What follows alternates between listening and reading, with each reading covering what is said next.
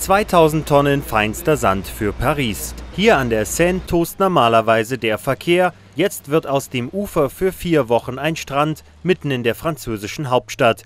Vor allem für die Daheimgebliebenen ist das in der Ferienzeit eine willkommene Abwechslung. Paris-Plage steht für einen Augenblick, in dem man die Stadt vergisst. Eine kleine Flucht aus der Stadt für ein, zwei, drei Stunden oder einen Tag ohne Eintritt. Mit Kindern, alleine oder mit der Freundin, egal. Sie können hier einen Tag in Ruhe verbringen, vor allem wenn Sie in Paris sind und arbeiten müssen. Mit großem technischen Gerät und viel Aufwand wird der Sand auf der Uferstraße aufgeschüttet.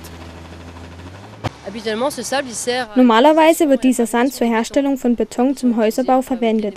Es ist ein feiner Sand mit einem Korndurchmesser von 0,1 mm. Er fühlt sich angenehm an. Die Besucher können ihr Handtuch ausbreiten und sich wohlfühlen. Erstmal herrscht aber noch viel Krach. Wir müssen den Strand so weit wie möglich ausbringen. Dann haben wir weniger Arbeit, einen ordentlichen Strand zu schaffen. Geplant sind unter anderem auch Sportangebote und klassische Konzerte. Das Angebot für den Kurzurlaub in Paris kommt gut an. Paris Plage geht bereits ins achte Jahr. Sommer in der Stadt hat eben seinen ganz eigenen Reiz.